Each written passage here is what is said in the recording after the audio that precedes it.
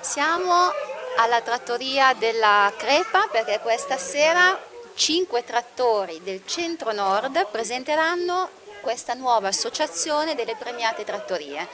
Stasera qua con me abbiamo Moreno e Giuliana Saragoni.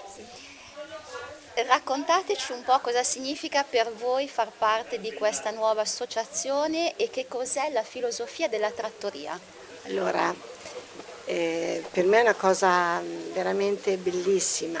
Sono colleghi che ci siamo conosciuti diverso tempo fa perché appunto eravamo nei Tre Gamberi, negli eh, Osterie d'Italia, le Chiocciole, quindi quando ci hanno proposto questa cosa, eh, perché appunto facciamo tutti e cinque questa filosofia, quindi per noi è stato un onore averci scelto perché eh, in fondo eh, quando è stato deciso e, e, quindi fra i cinque eravamo scelti anche noi, per noi è stato molto importante perché questa cosa che noi abbiamo iniziato a fare subito quando ehm, io appunto ho sostituito, insomma abbiamo preso la locanda dei miei genitori appunto abbiamo fatto questa ricerca e quindi qui invece dobbiamo chiederla a Moreno perché certo. è stato lui che mi ha aiutato proprio nella ricerca dei piatti del nostro territorio, sottolineo, territorio. I piatti che mangiavo io di bambina, piatti semplici con prodotti del nostro territorio, quindi cerchiamo anche adesso di utilizzare appunto i prodotti del nostro territorio infatti fino a poco tempo fa abbiamo fatto le erbe, i fiori, adesso abbiamo cambiato il menù visto che se ne trovano pochi, però ecco, ehm, siamo al confine anche con la Toscana, quindi molti prodotti andiamo anche in Toscana a prenderli perché i nostri genitori, e i nostri parenti andavano a lavorare in Toscana, andavano nel mare, nel mare Mate, perché lì nel nostro, a San Piero in Bagno il lavoro non ce n'era molto, quindi loro erano costretti a uscire e quindi portavano anche delle ricette, per quello che noi facciamo anche tanti piatti, anche piatti che vengono fatti in Toscana. Certo. Quindi la valorizzazione della gastronomia del territorio passa dalla storia ma passa anche dallo studio. Ovviamente, però volevo aggiungere a quello che ha detto mia moglie, il concetto di trattoria secondo me è, eh, eh, diciamo, eh, si differenzia dal, dal, concetto di ristorazione, di, di, di ristorante, proprio perché la trattoria, da che mondo almeno insomma, è sempre stata, almeno per la, per la mia conoscenza, è sempre stata eh, la, la, la, la rappresentante della cucina del luogo la trattoria faceva la cucina del, della zona in cui, in cui, si trovava. E qui se, si ricorda a tempo addietro ci siamo detti una cosa che eh, voi avete sotto, sottolineato bene, ma io ci tengo ancora a sottolineare che la cucina di un luogo deve avere il sapore della terra. Il sapore della terra, inteso come eh, eh, mangiamo quello che la nostra terra produce.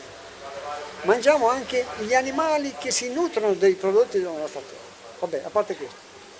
La trattoria si differenzia dal ristorante per quello che noi abbiamo voluto, noi cinque abbiamo voluto rimarcare questo discorso di trattorie italiane, in questo caso premiate, perché, perché per nostra fortuna abbiamo avuto dei riconoscimenti eh, eh, e quindi ci piace essere chiamati trattorie, anche se qualcuno eh, intravede, come devo dire, anche eh, l'aspetto del ristorante. Per noi va meglio trattoria. Ci piace più fare cucina, cucina, cucina del luogo con eh, grande qualità della materia prima e, e, e soprattutto consumo di prodotti del luogo, senza bisogno di andare a tingere ad altri territori quello lo può fare un ristorante. Lei diceva invece per il eh, fatto storico.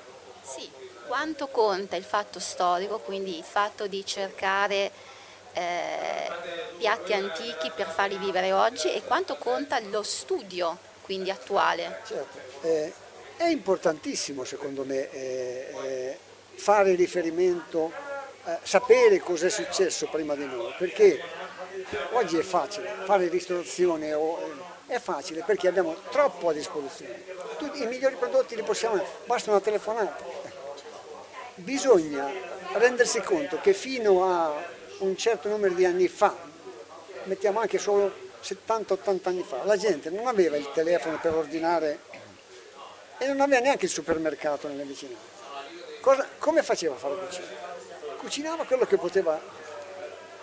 In certe zone, in non parlo delle città, non parlo dei paesi più evoluti, parlo del, delle realtà come la nostra, il Bagno di Romagna, zona depressa un tempo, zona depressa vuol dire che l'economia non esisteva. E quindi la gente che abitava lì viveva di agricoltura e viveva soprattutto, cioè si alimentava con i prodotti del territorio, esaltandoli, anche se questi prodotti erano, eh, erano come devo dire, eh, la semplice erba di campo che tu raccoglievi.